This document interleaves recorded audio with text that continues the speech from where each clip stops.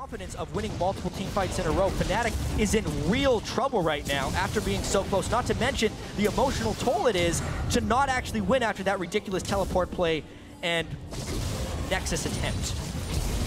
We often, oh, oh Dana getting stunned up. There it is. Are they going to dump onto YellOwStaR taking a lot back, but Dana is down. Rekkles gets the kill, but here comes the dive onto Rekkles, but he gets away thanks to the use of that Quicksilver Sash. Cyanide going to get his GA pop. Can they follow up from this one? He's going to flash away. Actually, Will is getting, but that bottom is going down. Rekkles flashed away when he put the Pyro Arcane Barrage on. That's when he's doing long range damage. He has not been able to hit auto attack on his fight. San over the wall with his flash, is able to get out. Summoners down across the board on both sides. Cool has his up. It's still trying for initiation here along with Gogoing. And luckily, their flashes are up for big aggression. You can really see just the massive amount of damage that the people built on OMG right there, diminishing effectiveness of that Fnatic team fight. However, they killed Dada. They have two down inhibitors, so they're trying to trade the inhibitors very quickly before Super Minis end up killing their own base, just so they can stall out this game. Because if they got into another fight while they're down two inhibitors, they may lose. They're trying to use this one death timer of Dada to end it, but OMG isn't going to let it happen. Oh, the flag from Go Go. They're going for Rekkles. Death box down. Shot down here by Lovely. Who's the next target? Soaz is in between them, but they're going for YellOwStaR. Second man down. Make that third and fourth. Peke